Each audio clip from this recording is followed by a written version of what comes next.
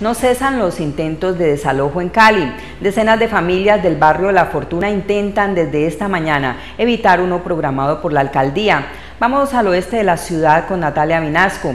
Natalia, buenas tardes. Vemos mucho movimiento a sus espaldas. ¿Por qué la intención de sacar a estas familias? ¿Cuál es la respuesta de los afectados al alcalde Rodrigo Guerrero? Hola Julieta, buenas tardes. Pues a esta hora la situación es tensa en el barrio La Fortuna al oeste de la ciudad. Los habitantes de este sector tratan de evitar ser desalojados de sus viviendas. Ellos afirman que la diligencia que pretende ejecutar la administración municipal es ilegal y lo único que pretende es beneficiar a la élite caleña. La inspectora que siempre se ha vendido es la.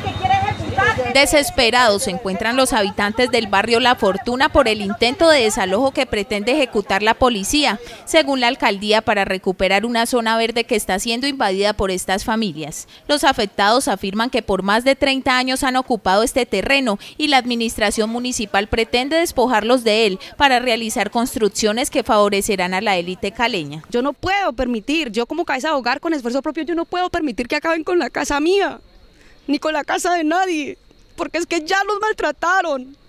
Y esa señora no entiende, porque sencillamente tiene interés particular, porque la señora María Clara Domínguez maneja dinero y nosotros no tenemos dinero, nosotros lo que tenemos es un trabajo, un sueldo mínimo para poderle dar algo mejor a nuestras hijas. Lo que duele y eso es lo que da rabia ver que la oligarquía, que la plata es la única que nos quiere lastimar. Que nos respeten como comunidad indígena, como comunidad de desplazados y el resto de la comunidad que vive asentada, que esto es un barrio, eso no es una invasión. La inspectora encargada de este procedimiento afirma que las familias ya estaban advertidas sobre esta situación, pero se han negado a abandonar el lugar. Se les indicó a la gente que ellos debían proceder a de manera voluntaria desafectar la zona, pero pues hemos tenido que llegar a esta situación porque ellos no, no acogieron la orden. El abogado Armando Palau, quien ha estado acompañando a la comunidad, manifestó que el proceso de desalojo que se pretende llevar a cabo es totalmente ilegal. Y es perfectamente ilegal el procedimiento toda vez que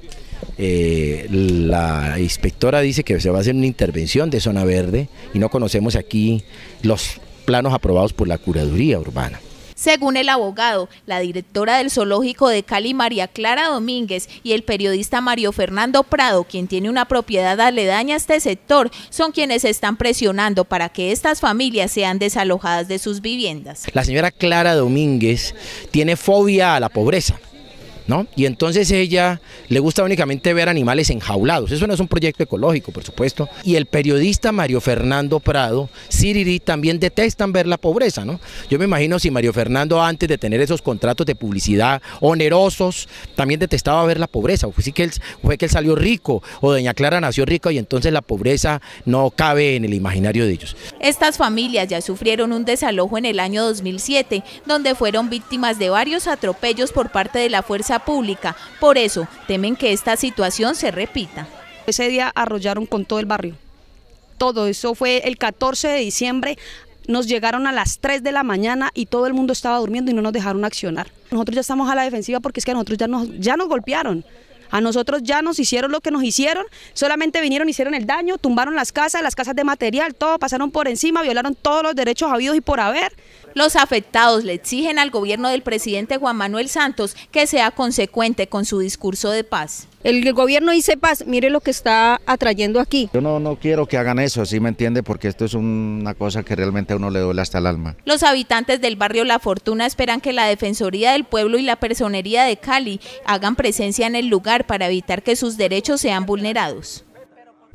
A esta hora el empoderado de los habitantes de este sector continúa reunido con los funcionarios encargados de llevar a cabo este proceso para tratar de evitar que este desalojo se lleve a cabo. Nosotros continuaremos aquí muy atentos a cualquier información. Julieta, por ahora siga usted en estudio con más noticias bien contadas. Gracias, Natalia.